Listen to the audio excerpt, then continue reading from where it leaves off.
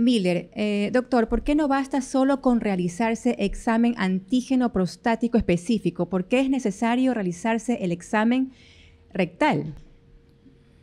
Muchas veces, eh, primero que nada, que el antígeno prostático específico puede salir normal y el paciente puede tener un cáncer, un cáncer clínico.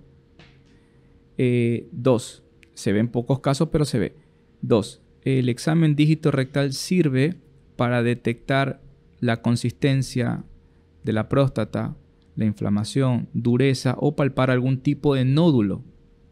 Eso nos da la pauta para seguirlo más de cerca y empezar a estudiar a ese paciente que si uno llega a palpar un nódulo, es probablemente que ese paciente haya que estudiarlo un poco más para descartar o confirmar que él tenga un cáncer de próstata.